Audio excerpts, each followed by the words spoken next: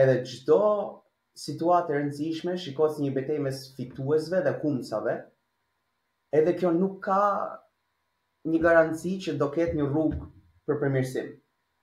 Një shembull i kësaj, mbase kjo është tepër teorike, mm -hmm. është nëse shikon debatet e Ben Shapiros. Pavarësisht çfarë në politikë është Ben Shapiro, I don't care, I don't care at all. Debatet e Ben Shapiros janë Ti thuaj këtë gjë që unë pres ti ta thuash, edhe unë do them atë gjë që ndjekësit e mi mendojnë se ti po thua, edhe kaq. S'ka rëndësi çfarë je duke menduar ti ose qëllimi yt.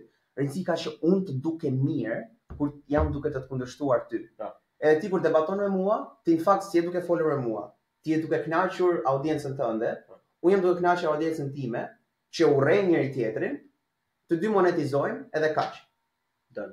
Pra, nuk është se është problem veç i intelektualëve shqiptarë, por është ideja që gjithmonë më e theksuar në Shqipëri sepse në, në po. Shqipëri më mënja s'kemi as balancë, sepse ne në Shqipëri nuk kemi kahun tjetër. Domethënë se po për çdo Ben Shapiro ka edhe dikush që e bën mirë, e kupton, po. se në Shqipëri s'ka.